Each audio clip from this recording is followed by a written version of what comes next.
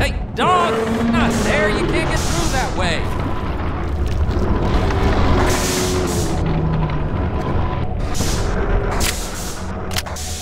Well, I'll be damned. I think he wants you to go through, Gordon. You'd better hurry. And if you see Dr. Breen, tell him I said